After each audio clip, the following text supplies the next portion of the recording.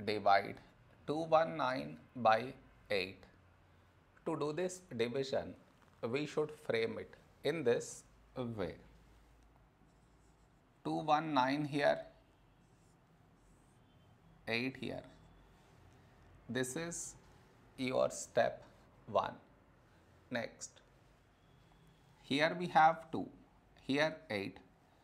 2 smaller than 8. So we should take two numbers 21. A number close to 21 in 8 table is 8 2's 16. Now we should subtract, we get 5. After this, bring down the beside number. So 9 down, so 59. A number close to 59 in 8 table is 8 7's 56. Now we subtract, we get 3. After this, no more numbers to bring it down. So what we do is, we put dot, take 0, so 30.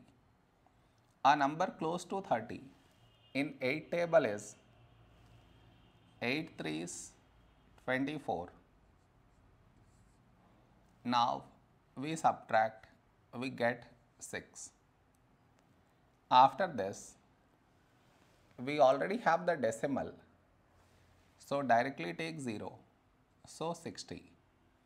A number close to 60 in 8 table is 8 7's 56. Now we subtract, we get 4. After this, we already have the decimal, so directly take 0, so 40. When do we get 40? In 8 table, 8 5's 40. Now we subtract, we get 0.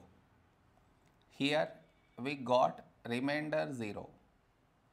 So this is our quotient